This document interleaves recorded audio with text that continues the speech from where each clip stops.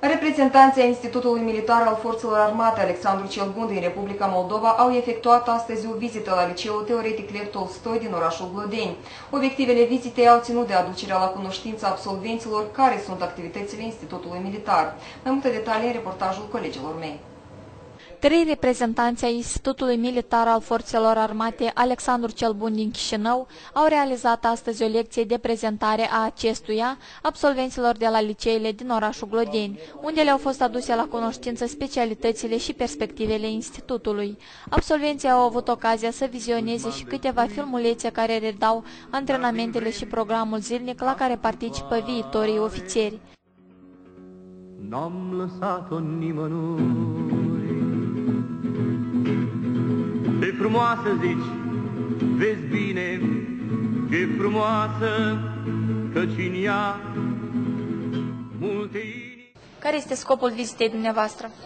Scopul vizitei nostru este promovarea imaginii Institutului Militar, singura instituție militară care există în Republica Moldova și care pregătește cadrul de ofițer pentru Armata Națională, pentru trupele de grăncești, trupele de carabinieri. Astăzi ați propunem elevilor ca să facă o impresie uh, despre Institutul nostru militar prin vizionarea filmelor despre Institutul Militar, vizionarea vieții cotidiane a Institutului și totodată va fi și un dialog între elevii și studenții care uh, asistă astăzi împreună cu mine la acest liceu. La finisarea studiilor absolvenților Institutului Militar li se acordă gradul primar al Corpului de Ofițeri Locotenent, calificarea inginer licențiat în exploatarea transportului auto sau inginer licențiat în teleradiocomunicații. Permis de conducere categorie C.